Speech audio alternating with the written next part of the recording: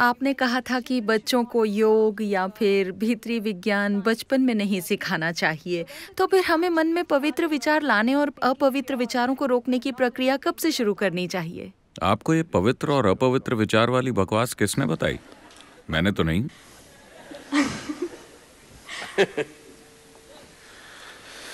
विचार। आपके पास जिस भी तरह के विचार हैं आप अपने मन में जो भी विचार पैदा करते हैं, वो उसी सूचना से पैदा हो रहे हैं, जो आपके अंदर पहले से भरी हुई है। है कि नहीं? हुँ?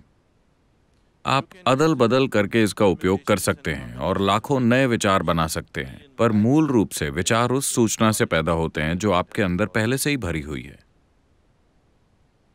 अगर आप मन में छानते रहेंगे कि कौन सा विचार पवित्र है और कौन सा अपवित्र तो आप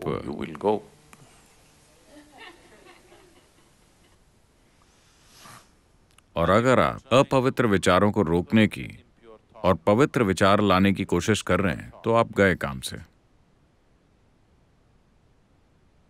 इन तथाकथित धर्मों ने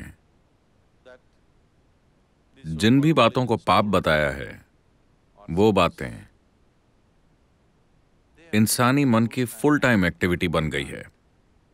अगर उन्होंने लोगों को अकेला छोड़ दिया होता तो सभी अपने झुकाव के हिसाब से जहाँ जाना होता, वहाँ चले जाते। लेकिन अभी ऐसा नहीं है। वो चीज़ें सभी के दिमाग में छप गई हैं। चूँकि उन्होंने कहा कि ये पाप है, इसके बारे में मत सोचो। लोग लगातार उन्हीं चीज़ों के बारे में सोचते रहते हैं।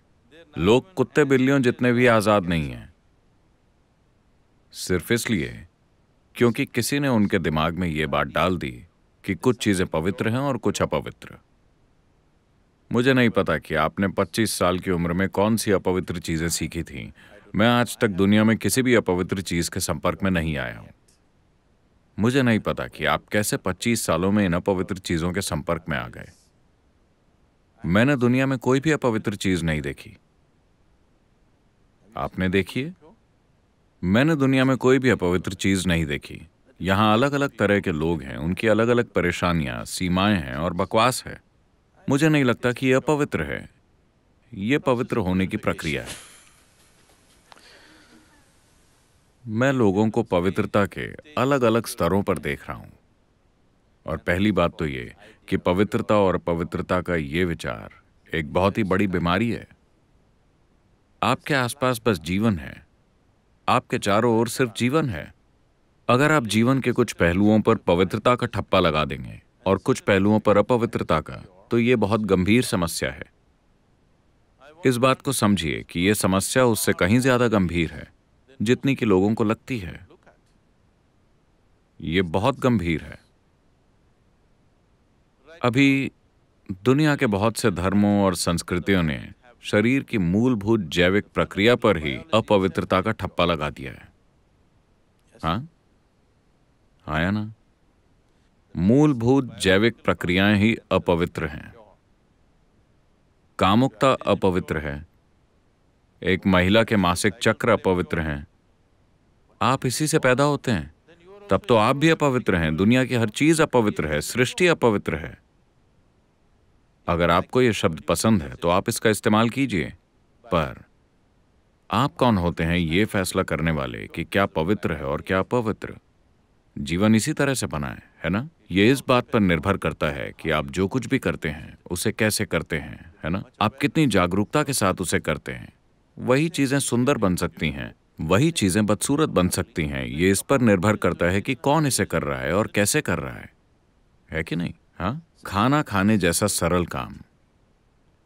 खाना खाना एक सुंदर अनुभव हो सकता है। इससे न केवल पोषण मिलेगा, बल्कि अनुभव के स्तर पर भी एक सुंदर अनुभव हो सकता है। कोई ऐसे खाना खाता है हम उसकी ओर देखते हैं और उफ हम्म, सब कुछ इस तरह किया जा सकता है है कि नहीं? कौन कर रहा है? काम कैसे किया जा रहा है?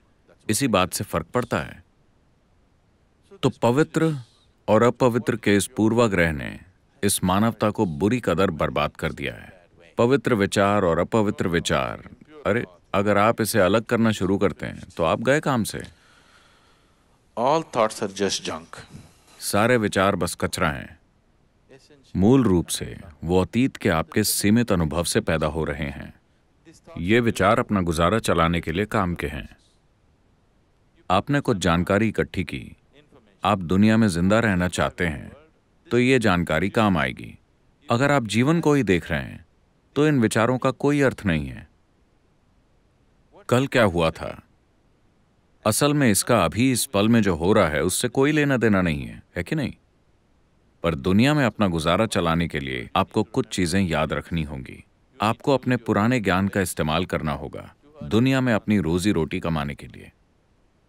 लेकिन, उसमें किसी भी चीज़ पर पवित्र और अपवित्र का ठप्पा मत लगाइए। यह आपके जीवन को पूरी तरह से अशांत कर सकता है। कोई भी चीज़ पवित्र नहीं होती। कोई भी चीज़ अपवित्र नहीं होती। ज़िंदगी जैसी है, वैसी ही है। इसे सुंदर बनाना या बदसूरत बनाना आपके ऊपर है, जीवन के हर पहलू को। हाँ? आपके जीवन के हर पहलू को या तो आप खूबसूरत बना सकते हैं या फिर बदसूरत। अगर आप जागरूक हैं तो आप इसे खूबसूरत बनाएँगे। अगर आप विवशता से चीज़ें करते हैं तो आप इसे बदसूरत बना देंगे। अगर आप जीवन का कोई भी काम विवशता से करते हैं तो वो बदसूरत हो जाता है है कि नहीं? अगर आप जागरूक होकर करते हैं तो उसे खूबसूरत बनाया जा सकता है। हर चीज़ को, सबसे छोटी चीज़ से लेकर सबसे बड़ी चीज़ तक, अगर आप उसे जागरूकता के साथ करते हैं तो हर चीज़ खूबसूरत बनाई जा सकती है। और अगर आप उसे विवशता से करते हैं तो हर चीज़ बहुत बदसूरत बनाई जा सकती है।